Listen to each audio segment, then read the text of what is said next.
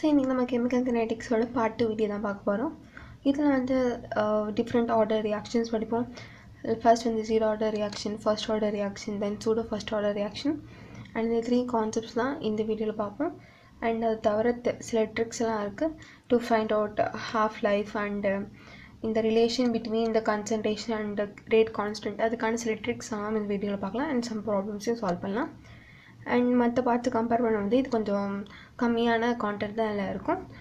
So first வந்து zero order reaction so zero order reaction சொல்லும்போது reactions in which இந்த rate வந்து concentration of the reactant டிபெண்டே பண்ணாது. ரியாக்டன்ட்டோட கன்சன்ட்ரேஷனை பற்றி டிபெண்டே பண்ணாத. In it is independent of the concentration of the reactant அந்த மாதிரி ரியாக்ஷன்ஸ் தான் ஜீரோ ஆர்டர் ரியாக்ஷன் அப்படி சொல்லுவோம் அண்ட் இது எப்படிலாம் இது வந்து டிரைவ் பண்ணோம்? அதனால டிரைவேஷன்லாம் இங்கே எதுவுமே யூஸ் பண்ணல. பிகாஸ் நான் முன்னாடி சொன்ன மாதிரி நீட் எக்ஸாம் வந்து டிரைவேஷன்லாம் கேட்க போகிறதில்ல வெறும் ஃபார்முலா தான். ஃபார்முலா வச்சு சம் போட்டு தெரிஞ்சாலே போதும் டிரைவேஷன்லாம் நம்மளுக்கு இங்கே தேவையில்லை. பட் தெரிஞ்சுக்கிறது நல்லது தான் ஃபார் போர்டு எக்ஸாம்ஸ் அது இம்பார்ட்டன்ட் நீட் எக்ஸாம் வந்து இதெல்லாம் உங்களுக்கு கேட்க மாட்டாங்க. டிரைவேஷன்ஸ் எல்லாம் ஸோ அதில் படிக்கிறது வேஸ்ட்டு தான். இந்த ஃபார்முலா எப்படி வந்தது அப்படி தெரிஞ்சுக்கிறது நல்லது தான் ஸோ இந்த கிராஃப்லாம் ப்ளாட் பண்ணும்பொழுது உங்களுக்கு என்னென்ன ஃபார்முலா யூஸ் ஆகும்? அண்ட் சம் போடும்போது எந்த ஃபார்முலா யூஸ் ஆகும்? அப்படிங்கிறத ரெண்டு மட்டும் நான் எழுதியிருக்கேன். அண்ட் இந்த டெராவேஷன் நாங்கள் பண்ணல பிகாஸ் மோஸ்ட் ஸ்கூல்ஸ்லாம் சொல்லி தந்திருப்பாங்க ஸோ ஃபர்ஸ்ட் வந்து இந்த ஏடிங்கிறது ஃபைனல் அதாவது ஃபைனல் ரியாக்டன்ட்டோட கன்சன்ட்ரேஷன் அண்ட் இது இனிஷியலி இந்த நாட் வந்தாலே இனிஷியல் தான். இனிஷியல் ரியாக்ஷனோட கன்சன்ட்ரேஷன் மைனஸ் கேடி கேங்கிறது நம்ம ரேட் கான்ஸ்டன்ட் அண்ட் டீங்கிறது டைம் ஸோ இதான் இந்த ஃபர்ஸ்ட் சாரி ஜீரோட ரியாக்ஷனோட இந்த எக்ஸ்ப்ரெஷன் வந்து இப்படி தான் இருக்கும். ஸோ இந்த எக்ஸ்ப்ரெஷன் நம்ம y is equal to M X plus C so y is equal to M X plus C அப்படிங்கிறது ஒரு ஸ்டேட் லைன் ஈக்குவேஷனோட ஃபார்முலா இது வந்து மேத்தமெட்டிக்ஸில் படிச்சிருக்கோம் அண்ட் இது வந்து வச்சு நம்ம graph எல்லாம் போகிறதுக்கு ரொம்பவே யூஸ்ஃபுல்லாக இருக்கும். இந்த இடத்துல இருந்து ஒய்ங்கிறது நம்மளோட final concentration of reactant Y தான் ஒய் ஆக்சிஸ் ரைட் அதில் ரெப்ரசென்ட் பண்ணியிருக்கோம். அந்த மாதிரி ஏ நாட்டுங்கிறது நம்மளோட இன்டர்செப்ட் ஸோ இன்டர்செப்ட்டுங்கிறது வந்து சி அப்படின்னு சொல்லுவோம். அண்ட் அதுதான் ஏ நாட் அண்ட் ஹியர் வந்து தீங்கிறது நம்மளோட எக்ஸ் ஆக்சிஸில் இருக்குது which means concentration time increase ஆங்க்ரீஸ் ஆக ஃபைனல் கன்சன்ட்ரேஷன் அதை பற்றி சொல்கிற கிராஃப் தான் அது. கேங்கிறது ரேட் கான்ஸ்டன்ட் ஸோ இங்கே மைனஸ் எப்பவுமே ப்ளஸ் தான் ஃபார்முலாவில் வரும். பட் நம்ம மைனஸ் இங்கே போகிறோம் ஸோ அதனால் மைனஸ் கே தான் நம்மளோட ஸ்லோ ஸோ ஸ்லோ வேல்யூ வந்து மைனஸ் கே மைனஸ் கே தான் நம்மளோட ஸ்லோ அண்ட் இதெல்லாமே நம்ம ஒழுங்காக அரேஞ்ச் பண்ணணும். எப்படி? இந்த இந்த நம்பர் இந்த டேர்ம் இங்கே வந்து இந்த டேர்ம் இந்த டேர்ம் அங்கே போயிடுச்சுன்னா நமக்கு இந்த எக்ஸ்பிரஷன் வரும். ஸோ இந்த எக்ஸ்ப்ரெஷன் வந்து நம்ம எப்படி சொல்லணும்னா ஏ நாட் மைனஸ் ஏடி இதுதான் நம்ம வந்து எக்ஸ் அப்படின்னு சொல்லுவோம் இந்த எக்ஸுங்கிறது நத்திங் பட் இந்த ஏ நாட் மைனஸ் இந்த ஏடி இதோட சப்ராக்ஷன்னா நம்ம இந்த எக்ஸுங்கிற value so X is to KT so X is அதிகமாக change concentration it is equal to rate constant into time இதுதான் நம்ம ஜீரோட ரியாக்ஷனோட எக்ஸ்பிரஷன் ஆர் ஃபார்முலா அப்படின்னு சொல்லலாம். அண்ட் இதுதான் நம்ம ப்ராப்ளம்ஸ் பண்ணும்போது யூஸ்ஃபுல்லாக இருக்கும். ஸோ அந்த கிராஃப் வந்து எதுக்கு சொன்னேன்னா வெறும் நான் இது மட்டும் சொல்லிக்க ஃபர்ஸ்ட் ஆர்டர்னால நான் கிராஃப் எடுத்து வரல பிகாஸ் இந்த எக்ஸ்பிரஷன் தெரிஞ்சாலே போதும். இதுலேருந்து நீங்களே கிராஃப் ப்ளாட் பண்ணால் ரொம்பவே சிம்பிள் தான். ஜஸ்ட் சிம்பிள் மேத்தமெட்டிக்ஸ் தெரிஞ்சாலே போதும். ஸோ நெக்ஸ்ட் வந்து unit of rate constant so unit of rate constant for a zero order reaction வந்து இதுதான் mole litre invest second invest so நான் போன ப்ரீவியஸ் வீடியோலேயே ஒரு ஃபார்முலா நான் சொல்லியிருந்தேன். லைக் இதை வந்து யூஸ் பண்ணிங்கன்னா உங்களுக்கு டிஃப்ரெண்ட் ஆர்டர் ரியாக்ஷன்ஸோட யூனிட் வந்து நீங்கள் கண்டுபிடிக்கலாம் அப்படின்னு சொல்லிட்டு நான் ஒரு ஃபார்முலாவை கூட சொல்லியிருந்தேன். ஸோ அந்த ஃபார்முலா ஒர்க் ஆகுதா இல்லையா அப்படிங்கிற பார்க்கறது கூட இந்த வீடியோ சொல்கிறேன் அப்படின்னு சொல்லியிருந்தேன். ஸோ அதுதான். ஸோ யூனிட் ஆஃப் கேக் வந்து நம்ம எப்படி கண்டுபிடிக்கும் ஃபார் டிஃப்ரெண்ட் ஆர்டர் ரியாக்ஷன் கூட இந்த ஃபார்முலா என்ன ஃபார்முலா மோல் பை லிட்டர் இதோட பவர் வந்து ஒன் மைனஸ் என் இந்த எண்ணுங்கிறது ஆர்டர் அப்படி சொல்லியிருந்தேன். இன்ட்டு டைமோட இன்வெஸ்ட் அப்படின்னு சொல்லியிருந்தேன். கரெக்டாக அப்போது மோல். மோல் அப்படியே இருக்கும். By litre so for a zero order reaction வந்து ஜீரோ ஆர்டர் ரியாக்ஷன் வந்து ஆர்டர் என்ன? ஜீரோ அப்போ one minus zero into டைமோட invest அப்படின்னு வர சொன்னேன். அண்ட் இங்கே வந்து என்ன வரும்? Mole since one minus zero is one தான். அப்போ இது ஆன்சர் மோல் கீழே இருக்கிறது மேலே இருந்துச்சுன்னா litre invest time already invest லாக்ஸோட so டைமோட unit வந்து இங்கே second so second invest and நம்மளோட இந்த ஆன்சர் இந்த ஆன்சர் சேம் ஆன்சர் தான். ஸோ இந்த ஃபார்மில் ஜஸ்ட் நீங்கள் the unit of rate concept for zero order தனியாக ஃபர்ஸ்ட் ஆர்டர் தனியாக செகண்ட் ஆர்டர் தனியாக மெமரைஸ் பண்ணி தேவையில்ல. இந்த ஒரு ஃபார்மில் மெமரைஸ் பண்ணாலே போதும். இதுலேருந்து நம்ம எல்லாத்தையும் கண்டுபிடிச்சலாம் ஜஸ்ட் இந்த என்னோட வேல்யூ மட்டும் அந்த ஆர்டருக்கு ஏற்ற மாதிரி மாற்றிட்டோம்னா நம்ம எல்லா த்ரீ ஆர்டர் ரியாக்ஷனுக்குமே இதை வச்சு கண்டுபிடிச்சலாம் ஸோ நீங்கள் வந்து கன்ஃபியூஸ் ஆகிட்டீங்க திடீர்னு மறந்துட்டீங்க அப்படின்னு இந்த ஃபார்முலா யூஸ் பண்ணி உங்களுக்கு ரொம்பவே ஈஸியாக இருக்கும்.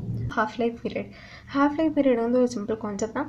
இப்போ நம்மக்கிட்ட ஒரு ரியாக்டனோட கன்சன்ட்ரேஷன் இனிஷியல் கன்சன்ட்ரேஷன் வந்து டென் இருக்கும் வச்சுக்கோம்.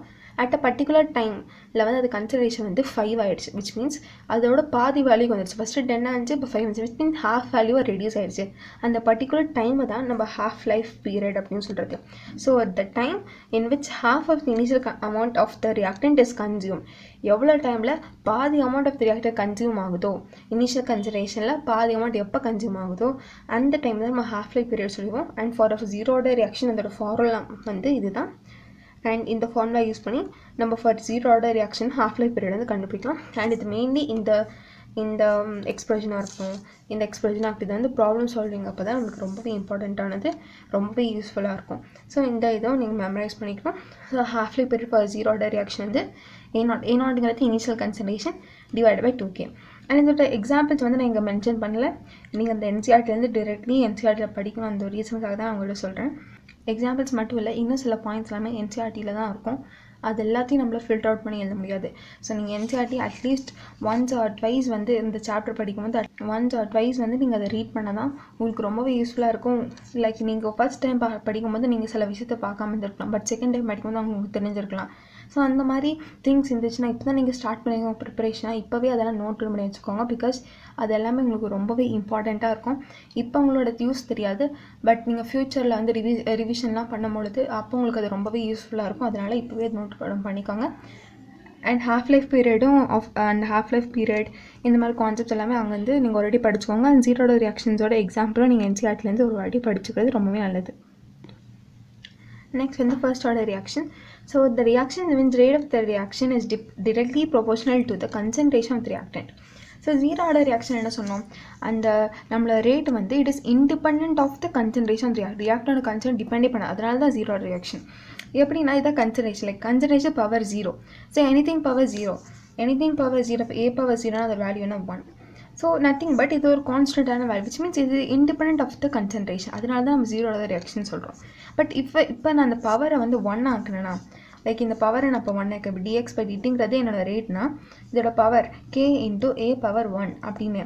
Which means I am increasing that power to one அப்போ அந்த பவர் வந்து ஒன் ஆகுறேன் அப்போ ஒன் ஆகுது என்ன ஆகும்? எனி திங் பவர் ஒன் வந்து அதே நம்பர் தான் வரும் ரைட் அப்போ வந்து இப்போ வந்து கே இன்ட்டு ஏ ஏங்கிறது என்னது? Molar concentration of reactant A அந்த ரியாக்டன்ட் ஏயோட மோலார் கன்சன்ட்ரேஷன் அப்போ rate of first order reaction is directly proportional to the concentration of the reactant அப்படிங்கிறதுலேருந்து நமக்கு கிளியராகவே தெரியுது.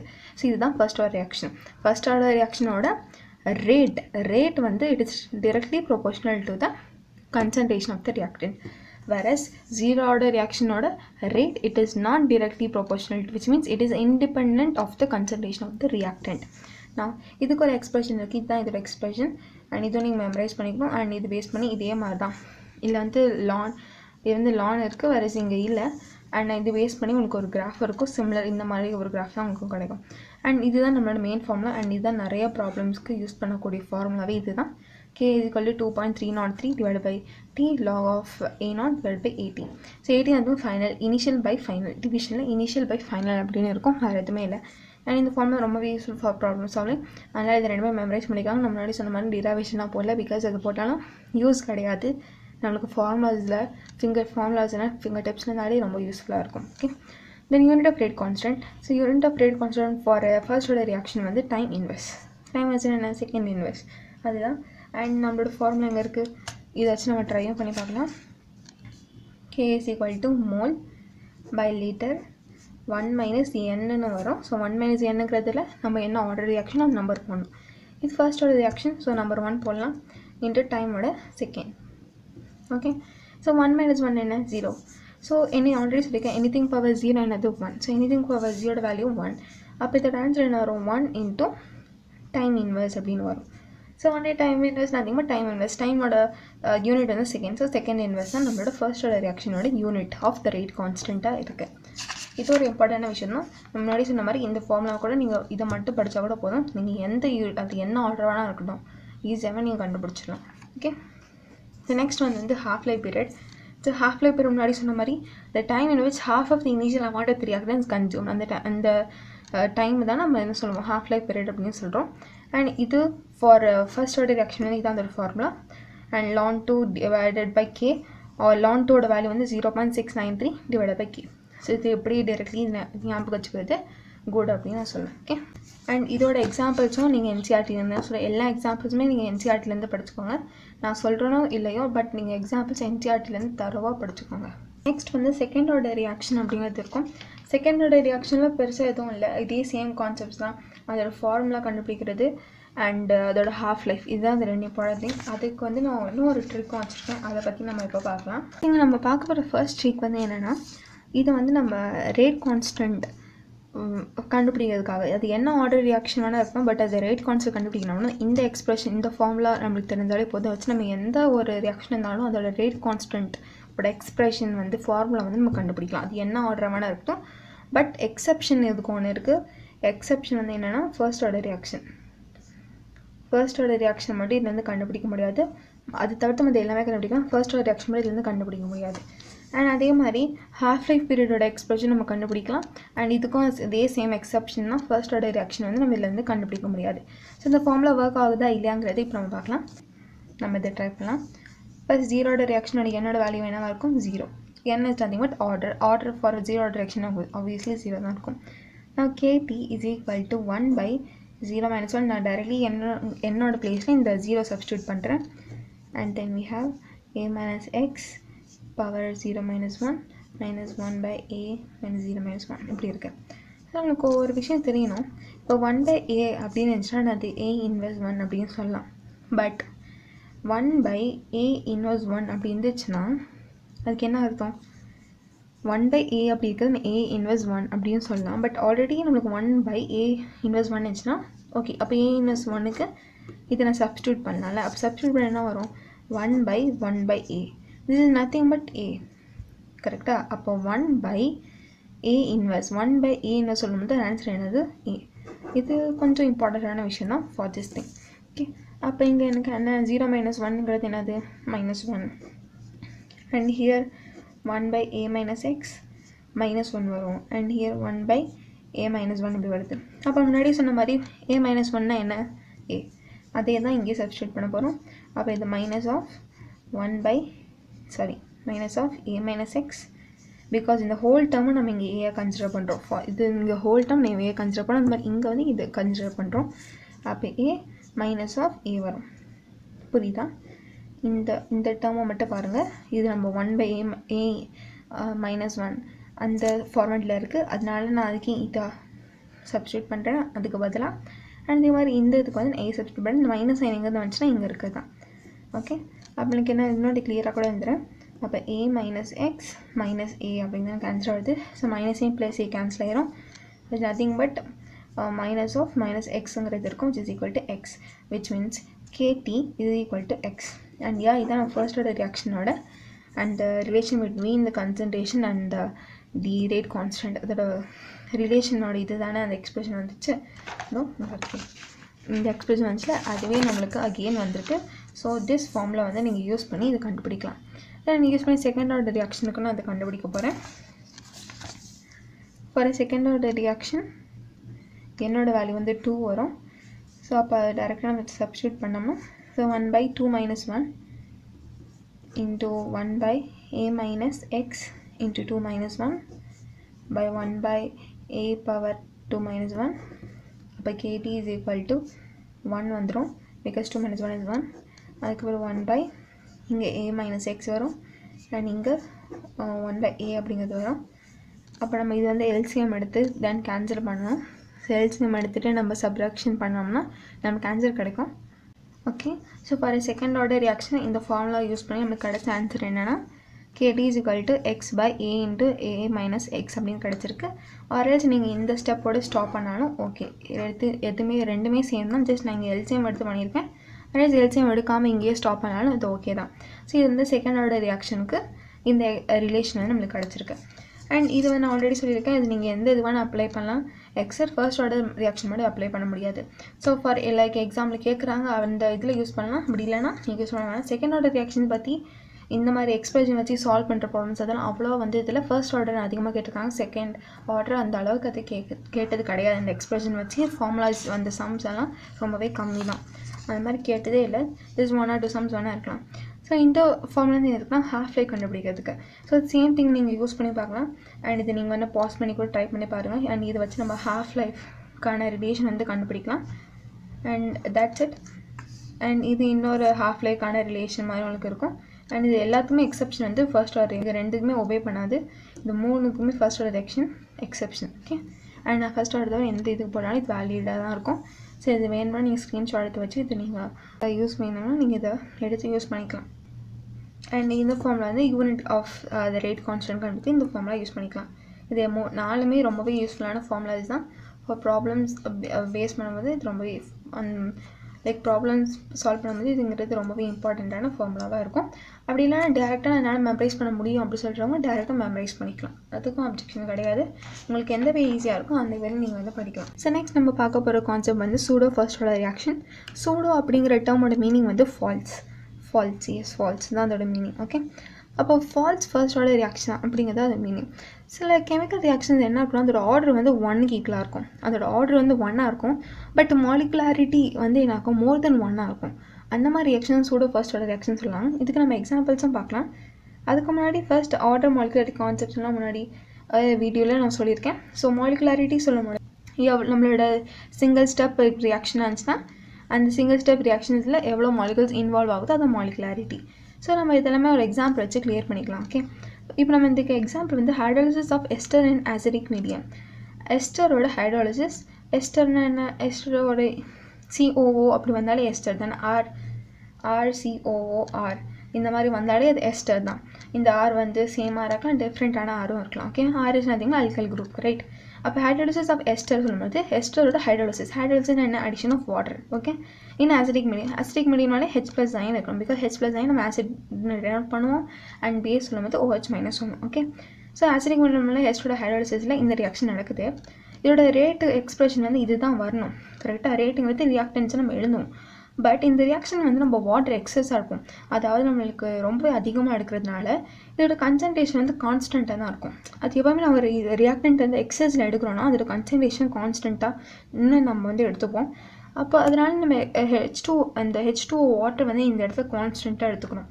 சின்ஸ் அது கன்சன்ட்ரேஷன் கான்ஸ்டண்ட்டாக இருக்கிறதுனால இது நம்ம கான்ஸ்டன்ட் எக்ஸஸ் அமௌண்ட் இது இருக்கிறதுனால இது நம்ம கான்ஸ்டண்ட்டாகவே எடுத்துப்போம். கான்ஸ்டன்ட்னாலே அது நம்ம வந்து எல்லாம் கன்சிடர் பண்ண மாட்டோம் ரேட்டில் அப்போ நம்மளோட ரேட் வந்து வேறு இந்த எஸ்டரை மட்டும் தான் டிபெண்ட் பண்ணியிருக்கோம். So rate of the reaction is directly proportional to the concentration of the ester okay அதனால் இங்கே எஸ்டர் மட்டும்தான். இது வந்து டிபெண்ட் பண்ணுது. கன்சன்ட்ரேஷன் எஸ்டர் மட்டும் தான் டிபெண்ட் பண்ணுது. ஸோ ரேட் வந்து எஸ்டர் எஸ்டரோட ஒரு கன்சன்ட்ரேஷன் தான் டிபெண்ட் பண்ணுது. அண்ட் வாட்டர் வந்து டிபெண்ட் பண்ணல. ஸோ அதனால் இப்போ மாலிகுலாரிட்டிஸ் வந்து எவ்வளோ மாலிகுல்ஸ் இன்வால்வ் ஆகுது ரியாக்ஷனில் ஃபஸ்ட்டு ரெண்டு மாலிகுல் ரியாக்டன்ட் எவ்வளோ இன்வால்வ் ஆகுது? டூ ரியாக்டன்ட் இருக்குது விச் மீன்ஸ் அதோட மாலிகுலாரிட்டி டூ மாலிகுலாரிட்டி டூ இருக்குது பட் அதோட ஆர்டர் வந்து ஒன்னே ஒன்று இருக்குது அண்ட் இந்த மாதிரி ரியாக்ஷன்ஸ் நம்ம என்ன சொல்லணும்னா சூடோ ஃபர்ஸ்ட் ஆர்டர் ரியாக்ஷன் அப்படின்னு சொல்லுவோம். ஐ திங்க் இந்த கான்செப்ட் நான் கிளியர் ஆகும் நினைக்கிறேன். அண்ட் இதுக்கு இன்னொரு எக்ஸாம்பிள் இருக்குது inversion of cane sugar organic கெமிஸ்ட்ரியில் biomolecules சாப்டரில் நீங்கள் அதை பற்றி படிச்சிருப்பீங்கன்னு நினைக்கிறேன். அப்படின்னாலும் இன்னும் சீக்கிரமாகவே அந்த வீடியோ நம்ம போடும் அதில் உங்களுக்கு தெரிஞ்சிருக்கும் அந்த ரியாக்ஷன் பற்றி இன்வர்ஜன் ஆஃப் கேன் சுகர்ங்கிறது ஆக்சுவலி ஒரு ரியாக்ஷன் அந்த ரியாக்ஷன் இதுக்கான ஒரு எக்ஸாம்பிள் தான். ஓகே ஐ ஹோப் இந்த கான்செப்ட் உங்களுக்கு கிளியராக இருக்கணும் இப்போ நம்ம சில ப்ராப்ளம்ஸ் வந்து நம்ம படித்த டாப்பிக்லேருந்து இப்போ சால்வ் பண்ணலாம். ஓகே ஸோ நான் இதில் ஆல்ரெடி ஆன்சர்ஸ் மார்க் பண்ணியிருக்கேன் ஏன்னா அந்த வீடியோ நான் ஆல்ரெடி எடுத்துட்டேன் பட் அன்ஃபார்ச்சுனேட்லி அந்த வீடியோ டெலிட் ஆகிடுச்சு அதனால் நான் திரும்பவும் எடுக்க வேண்டியதாக இருக்குது அதனால தான் நான் ஆன்சர்ஸ் மார்க் பண்ணியிருப்பேன் so the first question okay the first question 90 percentage of the first order reaction was completed in 10 hours so when will 99.9 percentage of the reaction complete okay the first question so first order reaction க்கு அந்த relation என்னவா இருக்கும் first order reaction க்கு rate constant க்கும் time அதுக்கான relation என்னவா இருக்கும் k is equal to 2.303 divided by t into log of initial concentration divided by final concentration. இதுதான் ரிலேஷனாக uh, இருக்கும். கரெக்டாக அப்போது இதில் நம்மளுக்கு மூணே மூணு uh, டேர்ம்ஸ் தான் இருக்குது நம்ம கண்டுபிடிக்கிறதுக்கு. ஒன்று வந்து இந்த ரேட் கான்ஸ்டன்ட் இன்னொன்று வந்து டைம் அண்ட் இந்த ஃபைனல் கன்சன்ட்ரேஷன் நிறைய இதில் வந்து அவங்களுக்கு கொடுத்துருவாங்க. அண்ட் ஃபைனல் கன்சன்ட்ரேஷன் நம்ம கண்டுபிடிக்கிற மாதிரி இருக்கும். இந்த மூணு விஷயம் தெரிஞ்ச மூணுத்தில் ரெண்டு தெரிஞ்சால் நம்ம மூணு கண்டுபிடிக்கலாம். கரெக்டாக அண்ட் அதை வச்சு தான் இந்த ப்ராப்ளம் நம்ம சால்வ் பண்ண போகிறோம் ஃபர்ஸ்ட் அவங்க என்ன சொல்லியிருக்காங்கன்னா நைன்ட்டி பர்சன்டேஜ் ஆஃப் ரியாக்ஷன் வந்து கம்ப்ளீட் ஆகிடுச்சு சொல்லியிருக்காங்க. பர்சன்டேஜ் வந்தாலே நமக்கு என்ன தெரியும்? ஹண்ட்ரட்ங்கிறது தான் ஃபர்ஸ்ட் வேல்யூ ஹண்ட்ரட் தான் டோட்டல் வேல்யூ அப்போ ஃபர்ஸ்ட் வந்து ஹண்ட்ரட் பர்சன்டேஜ் இருக்கும். First value ஹண்ட்ரட்னா it's nothing but initial consideration என்னது? ஹண்ட்ரடாக இருக்கும். அப்படின்னு நமக்கு தெரியுது. இனிஷியல் கன்சிடரேஷன் ஹண்ட்ரடாக இருக்குது நைன்ட்டி பர்சன்டேஜ் கம்ப்ளீட்டாக இருக்குது இது எப்படி இருக்குன்னா ஃபார் எக்ஸாம்பிள் உங்ககிட்ட டென் ஆப்பிள்ஸ் இருக்கு வச்சுக்கோங்க. உங்ககிட்ட டென் ஆப்பிள்ஸ் இருக்குது அதில் நீங்கள் வந்து சிக்ஸ் வந்து யூஸ் பண்ணிட்டீங்க. அது நீங்கள் சாப்பிட்ருக்கலாம் இல்லை யாருக்காவது கொடுத்துருக்கலாம் அது வேறு விஷயம். சிக்ஸ் ஆப்பிள்ஸ் நீங்கள் வந்து யூஸ் பண்ணிட்டீங்க. உங்களுக்கு சாப்பிட்டீங்களோ ஏதோ பண்ணிட்டீங்க. ஸோ ஃபஸ்ட்டு நினச்சி சிக்ஸ் வந்து நீங்கள் யூஸ் பண்ணிட்டீங்க. அப்போது இப்போ நான் கேட்குற கொஷின் வந்து என்னென்னா இந்த எயிட்டிங்கிறது நத்திங் பட் ஃபைனல் கன்சிடரேஷன் நீ உங்ககிட்ட இவ்வளோ இருந்துச்சா? ஃபை இனிஷியல் பஞ்சு நடுவில் பஞ்சு அதனால் ஃபைனல் இப்போ உங்ககிட்ட எவ்வளோ இனிஷியல் கன்சிடரேஷனுங்கிற கான்செப்ட் அதுதான் இந்த ஃபைனல் கன்சன்ட்ரேஷன் அப்படிங்கிற கான்செப்ட்டு ஃபைனலாக உங்கள்கிட்ட எவ்வளோ ஆப்பிள்ஸ் இருக்குது அப்படிங்கிறது. அப்போ முதல்ல டென் இன்ச்சு நடுவில் சிக்ஸ் வந்து நீங்கள் காலி பண்ணிட்டீங்க. அப்போ மிச்சம் உங்களுக்கு ஃபோர் தான் இருக்கும். அப்போ ஃபோர் தான் அவங்க ஃபைனல் கன்சன்ட்ரேஷன் அப்போ அதே மாதிரி நைன்ட்டி பர்சன்டேஜ் ஆஃப் ரியாக்ஷன் நடந்துருச்சுன்னா மிச்சம் எவ்வளோ பர்சன்டேஜ் இருக்குது மிச்சம் எவ்வளோ இருக்குது அதுதான் நம்மளோட ஃபைனல் கன்சிடரேஷன் மிச்சம் இருக்கிறது தானே ஃபைனல் கன்சிடரேஷன் சொல்லுவோம். இவ்வளோ நடந்து முடிஞ்சிருச்சு இதெல்லாம் காலி ஆகிடுச்சு அப்போ மிச்சம் எவ்வளோ இருக்குது எவ்வளோ இருக்கும்? ஹண்ட்ரட் மைனஸ் நைன்ட்டி அதான் ஆன்சர் அப்போ ஹண்ட்ரட் மைனஸ் நைன்ட்டி எவ்வளோ? டென் கரெக்டாக அப்போ டென்ங்கிறது தான் நம்மளோட ஃபைனல் கன்சன்ட்ரேஷன் நான் டைம் வந்து டென் ஹவர்ஸ் அப்படின்னு நம்மளுக்கு கொஸ்டினை கொடுத்துட்டாங்க. அப்போ நம்ம இந்த மூணுமே தெரிஞ்சிருச்சு. அப்போ நம்ம இந்த இதுக்கு வந்து சப்ஸ்டியூட் பண்ணி கண்டுபிடிச்சலாம் கேவோட வேல்யூ கண்டுபிடிச்சலாம் இப்போ கேவோட வேல்யூ கண்டுபிடிச்சதுக்கப்புறம் நான் நெக்ஸ்ட் என்ன கொடுத்துருக்காங்கன்னா அதே மாதிரி ஒரு கன்சிடரேஷன் வேல்யூ கொடுத்துருக்காங்க. ஸோ அதை வச்சு நம்ம என்ன பண்ணிக்கலாம்? ஃபைனல் கன்சிடரேஷன் கண்டுபிடிச்சிடலாம். கேவோட வேல்யூ இது வந்து காமன் தான். கேவோட வேல்யூ வந்து ஒரு வாட்டி கண்டுபிடிச்சாலும் போதும். அது எல்லாத்துக்குமே அதே சேம் வேல்யூ தான் வரும். அப்போ கேவோட வேல்யூ தெரிஞ்சிருச்சு. இதோட வேல்யூ தெரிஞ்சிருச்சு. அடுத்த கொஸ்டின் நம்ம டைம் வச்சு கண்டுபிடிச்சலாம் ஸோ இதை வந்து ரெண்டு பார்ட்டை டிவைட் பண்ணுறேன் ஃபர்ஸ்ட் பார்ட்டை வந்து நம்ம இங்கே கம்ப்ளீட் பண்ணலாம். அப்போ K is equal to two point three nought three divided by ten into log of initial consideration வந்து ஹண்ட்ரட் டிவைட் ஃபைனல் கன்சிடரேஷன் வந்து ten so zero zero cancel ten வரும். அண்ட் உங்களுக்கு தெரிஞ்சிருக்க சில விஷயம் இருக்குது லாக் டென்னோட வேல்யூ வந்து ஒன் லாக் ஜீரோட வேல்யூ வந்து ஜீரோ ஓகே இதெல்லாம் சில விஷயம் தெரிஞ்சுக்கணும். லாக் டென்னோட வேல்யூ ஒன் அப்போ இங்கே ஒன் ஆயிடுச்சுன்னா கேயோட வேல்யூ என்ன வரும்? K is equal to two point three nought three divided by ten அப்படிங்கிற மாதிரி கிடச்சிருக்கு. இது அப்படியே வச்சுக்கோங்க. சால்வெல்லாம் பண்ண தேவை அப்படியே வச்சுக்கோங்க. இப்போ நம்ம கேவோட வேல்யூ தெரிஞ்சிருச்சு இப்போ நெக்ஸ்ட் இதே ஈக்குவேஷனில் நம்ம வந்து செகண்ட் பார்ட்டை சப்ஸ்டியூட் பண்ணலாம். அப்போ இதில் என்ன செகண்ட் இதில் வந்து நைன்ட்டி பர்சன்டேஜ் கம்ப்ளீட் ஆகி சொல்லியிருக்காங்க. இது ninety nine point nine percentage அப்போ நமக்கு இந்த டிஃப ஃபைனல் கன்சன்ட்ரேஷன் எவ்வளோ இருக்கும்? Hundred minus ninety nine point nine அப்போ hundred minus ninety nine point nine எவ்வளோ ஜீரோ பாயிண்ட் ஒன் வரும் ஓகேவா அப்போ K is equal to two point three nought three divide by T டீங்கிறது நம்மளுக்கு எங்கே தெரியாது. அதை நம்ம கண்டுபிடிக்கும் into log of initial consideration எவ்வளோ இருந்திருக்கும்? அது சேம் தான். ஹண்ட்ரட் தான். Final consideration zero point one இங்கே சப்ஸ்டியூட் பண்ணணும். கீயோட வேல்யூ நம்ம சப்ஸ்டியூட் பண்ணிடலாம். அதுக்கு முன்னாடி ஒன்று தெரிஞ்சிருவோம் இப்போ ஒன் நம்மளுக்கு ஒன் பை டென் அப்படின்னு இருக்குன்னா இதை நம்ம என்ன சொல்லுவோம்? ஜீரோ பாயிண்ட் ஒன் அப்படி சொல்லுவோம். ஒன் பை டென் நம்ம ஜீரோ பாயிண்ட் ஒன் அப்படின்னு சொல்லுவோம். கரெக்டாக அப்போ இந்த இடத்துல hundred by zero point one இருக்குது அப்போ இங்கே ஒன் பை டென் சொல்லும்போது நத்திங் பட் இந்த இந்த டென் மேலே வந்துடும் அப்போ இது நத்திங் பட் தௌசண்ட் கரெக்டாக கரெக்டாக தௌசண்ட் தானே?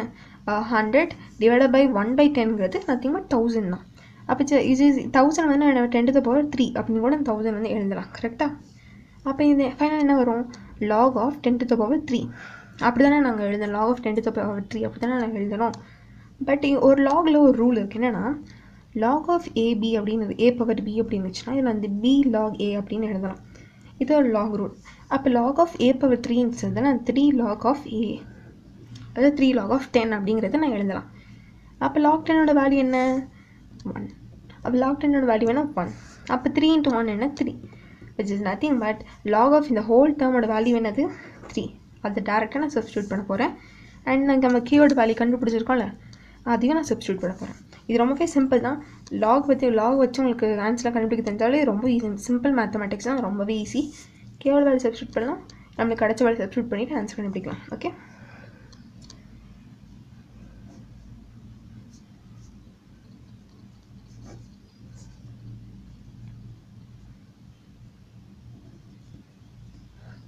okay? So 2.303 by divided by 10 ங்கிறது k value.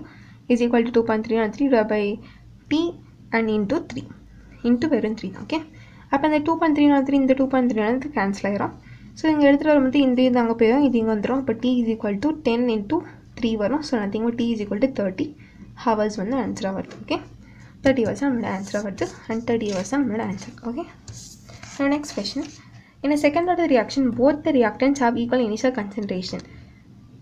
Both ரியாக்டன்ஸ்க்கு equal consideration இருக்குது the time taken for sixty percentage completion of reaction okay sixty percent complete ஆகுது இந்த டைம் எடுத்துருக்கு அப்படி சொல்கிறாங்க அப்போது டுவெண்ட்டி பர்சன்ட் கம்ப்ளீட் ஆகிறதுக்கு எவ்வளோ டைம் ஸோ சிம்பிள் இந்த ஃபர்ஸ்ட் இது மாதிரி தான் ஃபர்ஸ்ட் சம் மாதிரி தான் இது சால்வ் பண்ணோம். ஸோ இது செகண்ட் ரியாக்ஷனால் அதோட ஃபார்முலா தான் நம்ம யூஸ் பண்ணணும் இதுக்கு. ஃபார் செகண்ட் ஆர்டர் ரியாக்ஷனுக்கு வந்து அதோட எக்ஸ்பிரஷன் வந்து இதுதான். ஸோ இதில் வந்து எக்ஸுங்கிறது நத்திங் பட் நம்மளுக்கு வந்து சிக்ஸ்டினா சிக்ஸ்டி அதுதான் எக்ஸு ஏங்கிறது நம்ம இனிஷியல் கன்சன்ட்ரேஷன் ஓகே அது யூஸ் பண்ணி இப்போ நம்ம சால்வ் பண்ணலாம். அப்போ கேயோட வேல்யூ வந்து நம்ம கண்டுபிடிக்கணும். இதுவும் அதே சேம் தான். ஃபஸ்ட் நம்ம கே கண்டுபிடிக்கணும் அந்த கே வந்து செகண்ட் ஈக்குவேஷன் சப்ஸ்டியூட் பண்ணி ஆன்சர் கண்டுபிடிக்கணும். அதே சிம்லர் கான்செப்ட் தான். அப்போ K is equal to one by T டீயோட value எவ்வளோ three thousand okay into X எக்ஸோட வேல்யூ எவ்வளோ எக்ஸுங்கிறது எவ்வளோ அந்த percentage so sixty percent sixty divide by ஏங்கிற இனிஷியல் கன்சிடரேஷன் ஸோ பர்சன்டேஜ் சொன்னாலே ஹண்ட்ரட் தான் இனிஷியல் கன்சிடரேஷனாக இருக்கும். And into A minus X A வந்து ஹண்ட்ரட் எக்ஸ் வந்து sixty so hundred minus sixty is forty okay நான் ஸோ இப்போ ஜீரோ ஜீரோ கேன்சல் பண்ணிடலாம். தென் இது த்ரீ டைம்ஸ் இது டூ டைம்ஸ் அண்ட் இது வந்து இங்கே கேன்சல் ஆனால் தௌசண்ட் வரும். விச் இஸ் நத்திங் பட் கேவோட வேல்யூ எவ்வளோ வந்திருக்கு? One by two into ten to power five okay so இது வந்து two into ten to power five அப்படின்னு நான் ரெப்ரசென்ட் பண்ணிக்கிறேன் ஸோ இது மாதிரி ரெப்ரசென்ட் பண்ணும்போது எனக்கு ஈஸியாக கேன்சலேஷன் பண்ணுறதுக்கு அப்போல்லாம் ரொம்ப ஈஸியாக இருக்கும். அதனால தான் அப்படி ரெப்ரசென்ட் பண்ணியிருக்கேன். ஓகே இப்போ நம்ம கேவோட வேலையை கண்டுபிடிச்சாச்சு. இப்போ நம்ம நெக்ஸ்ட் பாட்டுக்கு போகலாம் நெக்ஸ்ட் பார்ட் அதே ஃபார்மில் தான் K is equal to one by T டீயோட value தான் நம்ம கண்டுபிடிக்கணும். அப்போ எக்ஸ் எக்ஸோட வேல்யூ என்னது? இங்கே வந்து டுவெண்ட்டி அப்போ டுவெண்ட்டி டிவைட் பை ஏ ஏங்கிறது நம்மளோட initial concentration which is hundred into A minus X ஏயோட value hundred எக்ஸோட வேல்யூ டுவெண்ட்டி அப்போ A minus X hundred minus twenty which is nothing but eighty okay இது ஒன் டைம்ஸ் இது four times and இதில் வந்து நம்ம கேவோட value இங்கே இருக்குல்ல அதுவும் சப்ஸ்டியூட் பண்ணிடலாம். அப்போ one by two into ten to power five வரும் which is equal to one by T into 1 by 400 sorry 4 into 10 to the power 2 அப்படின்னு எழுதிக்கலாம் ஓகே அப்போ இங்கே ஒன் டைம் இங்கே டூ டைம்ஸ் கேன்சல் ஆயிரும். அண்ட் இங்கே ரெண்டு ஜீரோ இங்கே ஃபைவ் ஜீரோ த்ரீ வந்து ரிமைனிங் இருக்கும்.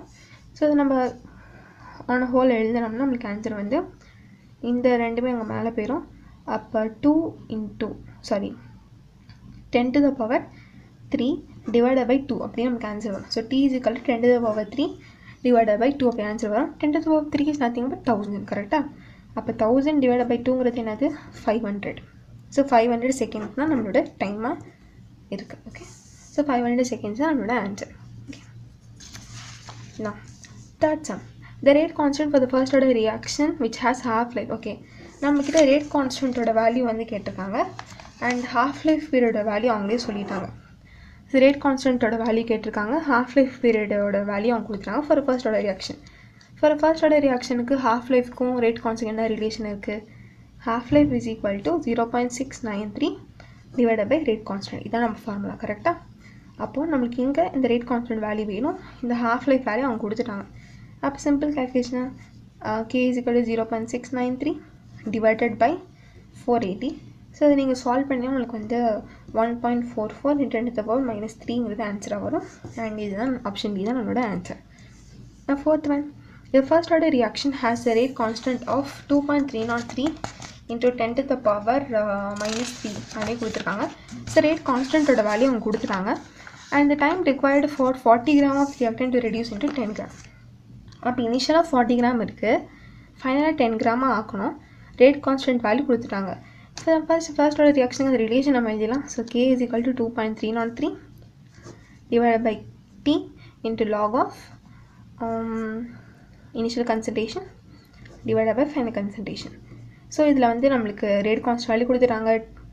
அண்டு இந்த ரெண்டு வேலையும் கொடுத்துட்டாங்க. டி தான் நம்ம கண்டுபிடிக்கணும். அதை நம்ம கண்டுபிடிச்சோம் ஓகே அப்போ கேள்வி வேல்யூ என்ன சொல்லியிருக்காங்க? Two point three not three into ten to the power minus three சொல்லியிருக்காங்க. Which is equal to three not two point three not three divide by டீயோட value நம்ம கண்டுபிடிக்கணும். Into log of initial concentration forty final வந்து ten zero zero cancel ஆயிரும் இங்கே four so நான் ஃபோரை வந்து two power two அப்படின்னு சொல்லலாம். டூ பவர் டூ ஃபோர் தானே? அப்போ இது வந்து நான் log ஃபோருங்கிறது log of two power two அப்படின்னு ரெப்ரசென்ட் பண்ணலாம். ஸோ நான் முன்னாடி சொன்ன மாதிரி log of AB A power B அப்படிங்கிறது நான் log sorry B log A அப்படின்னு நான் வந்து எழுதலாம். கரெக்டாக அப்போ லாக் ஆஃப் டூ பவர் டூங்கிறது இருக்குது லாக் டூ லாக் டூ அப்படின்னு நான் கரெக்டாக அதுதான் நான் இங்கே சப்ஸ்டியூட் பண்ண போகிறேன் இந்த டூ பாயிண்ட் த்ரீ நாலு த்ரீ இந்த டூ பாயிண்ட் த்ரீ நாலு த்ரீ கேன்சல் பண்ணிடலாம். அப்போ இங்கே வந்து ten to power minus three which is equal to one by three into into two into log two அப்படின்னு இருக்கும்.